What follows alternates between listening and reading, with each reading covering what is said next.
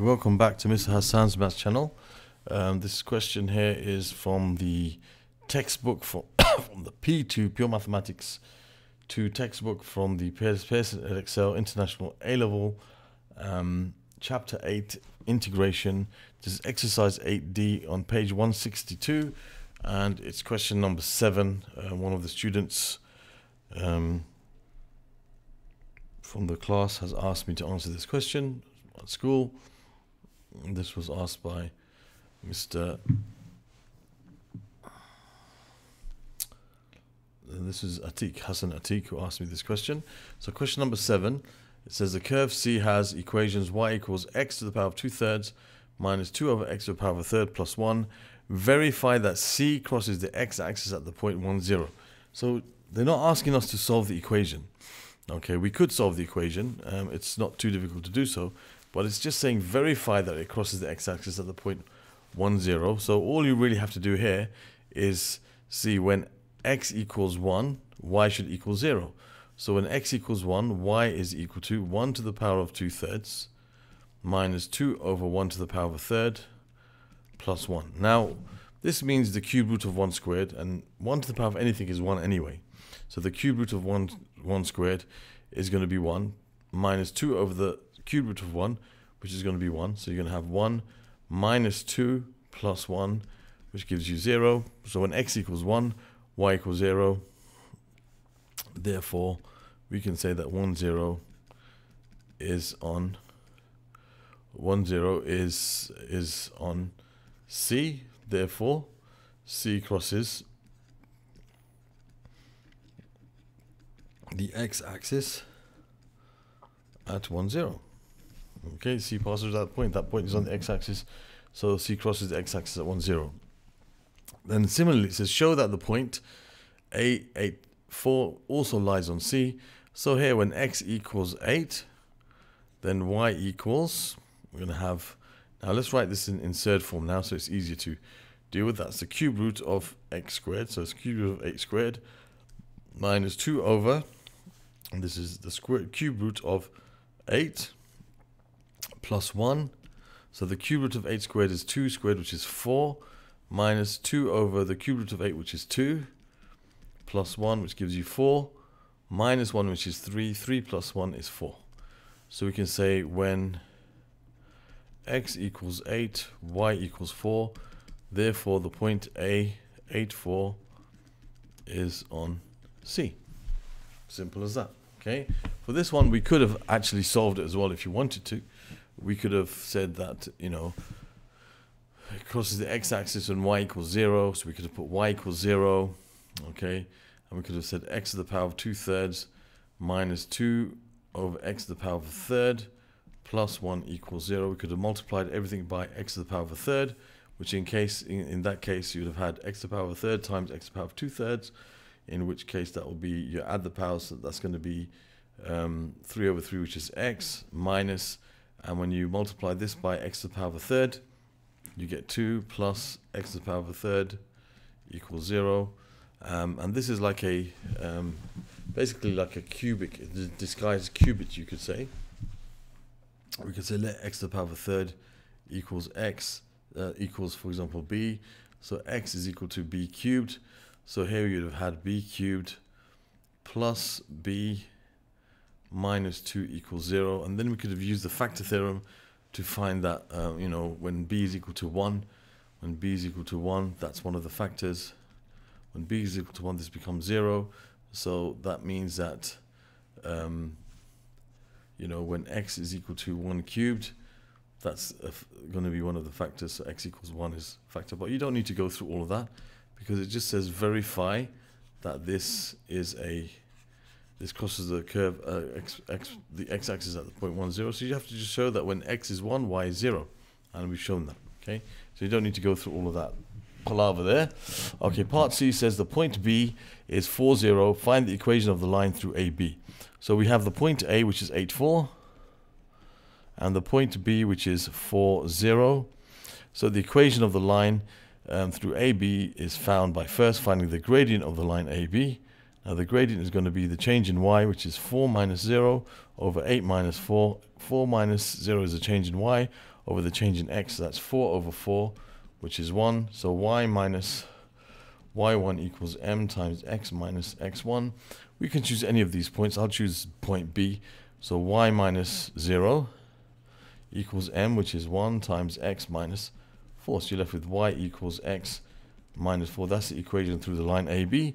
That's part C. And then part D says the finite region R is bounded by C, AB, and the positive x-axis. Find the area of R. Okay, so let me just make a little axis here. The positive x-axis.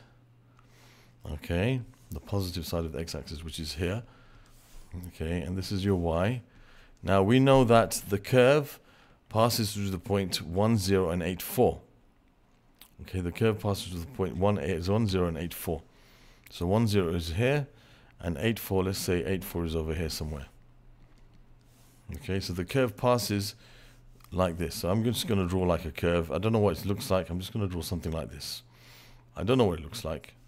Okay, we don't know what it looks like. I'm just going to going draw it going through 1, 0, and passing through the point A eight four. Okay, so that's that's the point that it, it says the um, the curve passes through 1, 0. Okay, so it passes through this point and it passes through A. Then it says um, the line passes through um, the, the line y equals x plus 4, x minus 4, sorry, is the equation of the line. So that line is going to pass through minus 4 and plus 4. So it's going to cross the, the x-axis at 4, and it's going to go through 8, 4.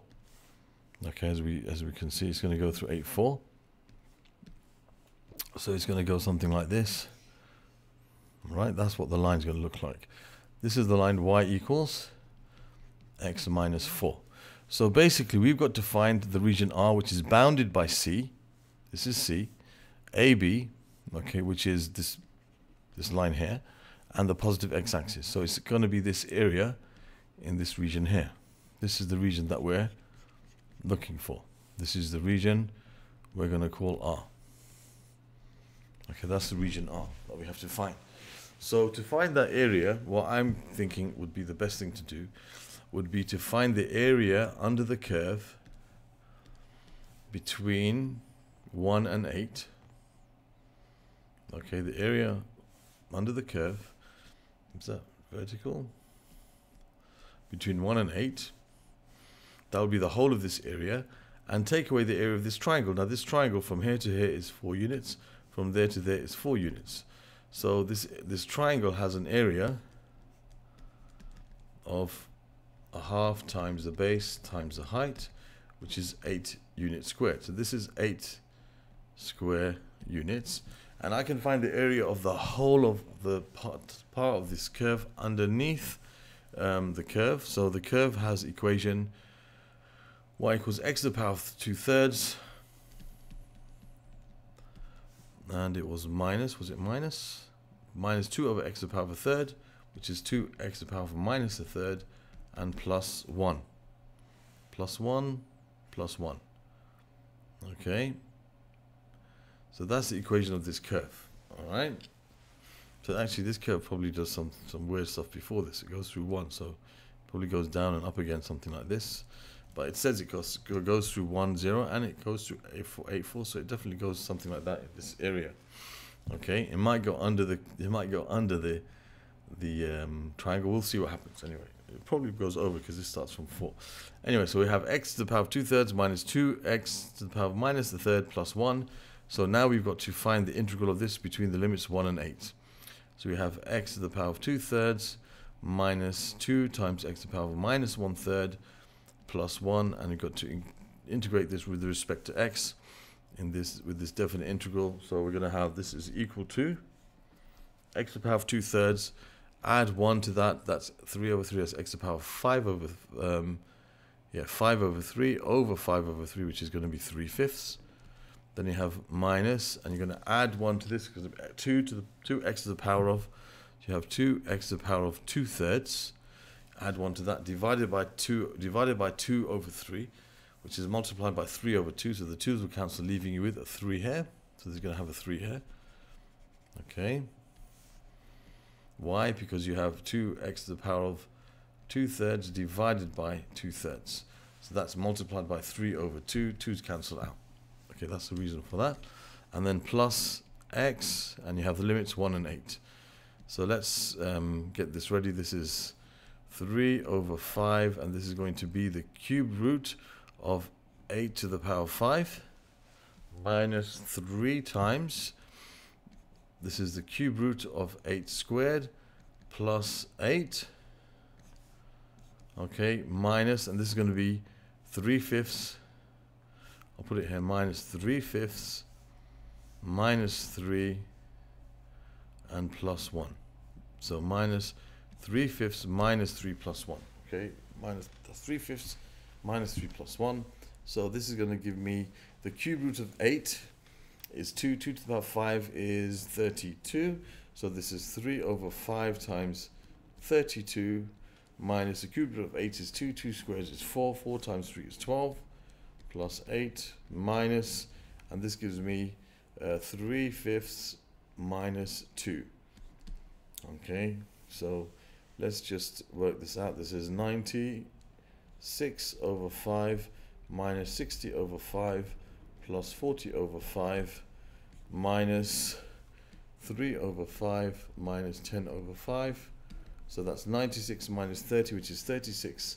36 plus 40, which is 76 over 5 minus and that's minus 7 over 5 so 76 plus 7 is 83 over 5 and that's the area of this whole thing and I've got to take from this area 8 so I have 83 over 5 take away 8 which is 40 over 5 which gives me 43 over 5 and that's the area of this region. So the region here is 43 over 5 square units. And there's the answer to that question, part D. And um, yeah, so there, there we have it. This is a question all about integration and area between curves and lines. And, um, you know, so in this particular case, we need to find this area. So we took the area of the whole thing minus the area of this triangle and we ended up with 43 over 5. This is a question, as I said, from the textbook. Other questions from the textbook you can find from this chapter 8 from P2. You can find in the playlist over here. Other questions from integration in general from P2 you can find in this playlist. And you can subscribe to my channel by clicking on this link. Thank you for watching and see you soon.